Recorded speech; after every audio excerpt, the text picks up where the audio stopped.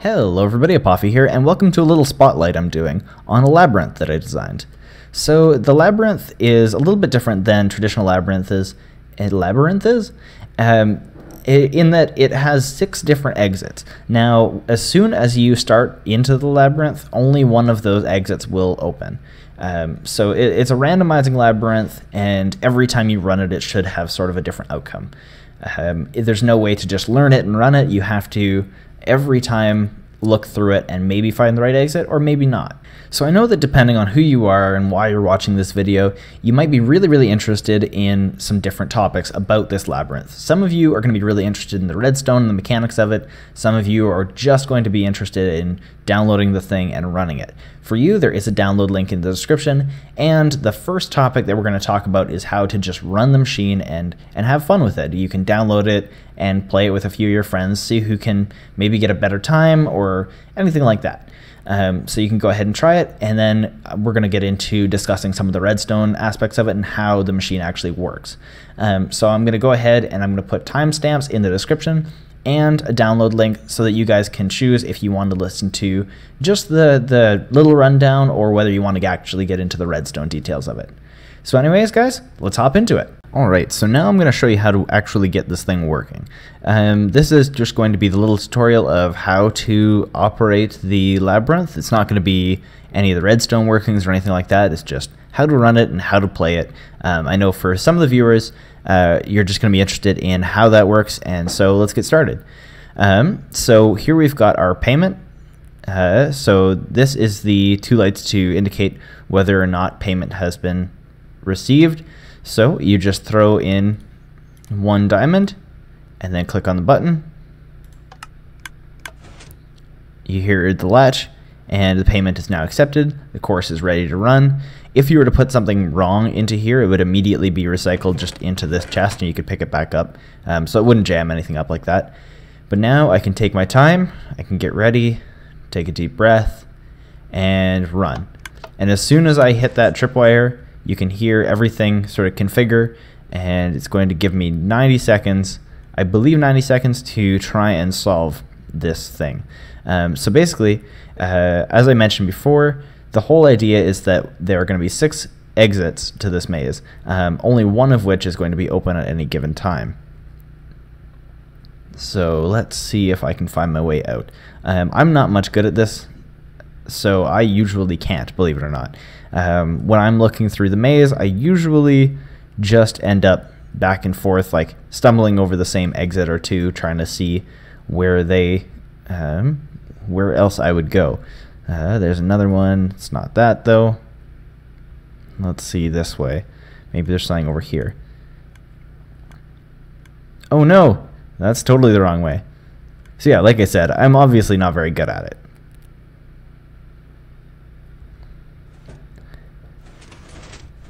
All right, so now you heard all of those latches open. That means that the the time has expired and every exit will open now and you can just jump down.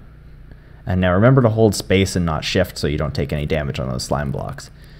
So over here is where we have the the payment chest, or sorry, the um, the reward chest. If you manage to complete it in time, it is a trapped chest. So uh, what happens is if excuse me, um, if you are get here and just in the nick of time you come running over and open the chest, it won't take the items out of it.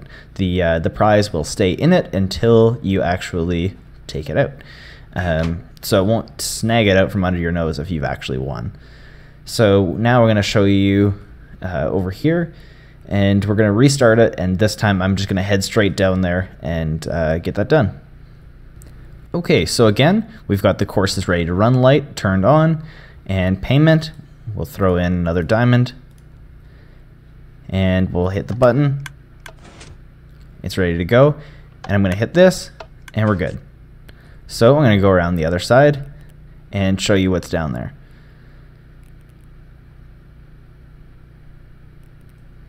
So assuming I managed to solve the maze, and uh, drop down here. All I have to do is just run over to this chest and open it. Just like that. And then I can take my, uh, then I can take my diamonds out. All right, so if you're the person who is running this thing, um, you definitely want to be making some money on it. So if we come down here, this is actually the chest that would collect money. So every uh, two diamonds that are put into the machine, one of them will drop into this chest, and the other will be added to a prize pot. So if it's been like 10 since the last person won, uh, the person will get a quite a big prize when when the person wins. Um, but you'll also be making a bunch of money off of it. So that's that anyway. There's quite a circuit dealing with that. And as you can see, the whole machine is quite bulky. Um, I'll show you the inside of it right here. And uh, so it, the there is an entrance. Ooh, there we go. There is an entrance right here. So if we come inside, we can see that it's um, it's kind of a mess. There is redstone absolutely everywhere. I have gone through and labeled most of the stuff, um, most of the important parts anyway, so that you can kind of like, you know, keep a keep your head straight while you're looking through all this stuff. All right, so clearly keeping it inside that box has caused the redstone to get pretty cluttered, and I'm not going to try to explain it while looking at all that stuff. What I did is pulled out a bunch of the parts and sort of have a working model here of what it's going to be like. So the first, and, and sort of in my mind, the, the heart of this whole machine is the randomizer.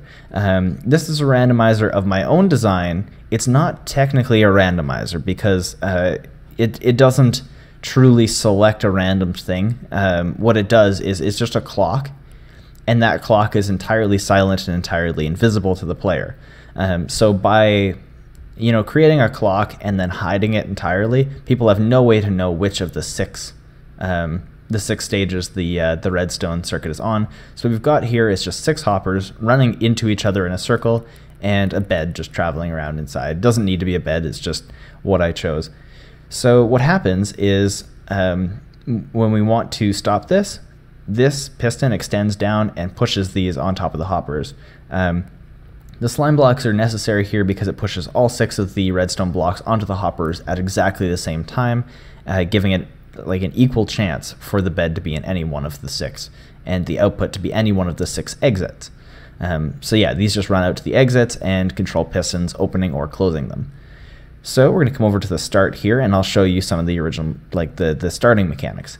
Um, so there is a payment thing. This is what the payment would be and this is the recycle. Um, here, this just goes into an item sorter. Uh, only diamonds can get through, otherwise stuff goes out this way. I haven't built the whole item sorter here, but you guys can uh, can find out how to build an item sorter. They're pretty simple. Um, so once the item is sorted and a, a, diamond is detected, it creates an output. The output goes to here to unlock uh, this thing and allow you to start the course. Um, with this model, it is unlocked all the time. So as soon as I step on the pressure plate, we can see some changes.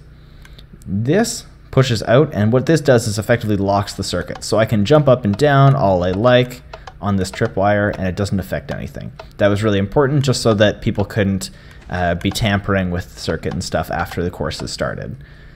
So there's that. that. Um, and now the circuit is actually recharging itself, so we'll wait a second. Um, but what will happen is it'll go through this T flip-flop as soon as I press it. Um, so this is a T flip-flop. Essentially, it changes a button press, or in this case, a tripwire press, into a lever output. Um, so as soon as I hit this, it'll turn the output on, and it will stay on until it gets another input here. So we can see here that the blocks are pushed down, one output is selected, and there is a timer here that starts counting down. I've got it set quite low just so that uh, for, for demonstration purposes. Um, so what this clock will do is count down however many items that you have in here. Uh, this is how you control how much time it takes to run the labyrinth. Um, by adding or taking away, you can select. So if I do this, I'll cut the time in half. Um, you can select how much time it actually takes and how much you have to run the course. So you'll see this will retract quite quickly. So it's not very much, not anywhere near enough to actually run. So that's that. Now for the payment, what happens is this uh, output comes this way and it actually cycles. There's a clock here running all the time. It actually makes a nice ticker. Um, So inside the chest we have a diamond block in this case. And as soon as it goes, the diamond block is taken out of the chest. The diamond block actually comes back here and stays in this until this clock is turned back on. Um, at which point the dropper will force it up into the hopper and it will travel across into the payment chest.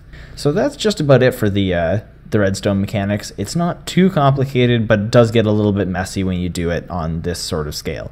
Alrighty guys, thank you so much for watching. I really, really appreciate it. If you liked the video, go ahead and leave a like on it. It helps me out a lot.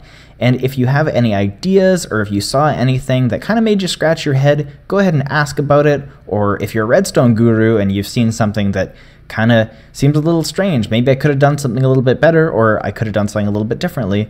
Let me know down in the comment section. I would really, really appreciate it. This is sort of a 1.0 build, like a, like a functional prototype almost. So I would love to hear any comments that you guys have. Um, so again, thank you guys so much for watching and we'll see you next time.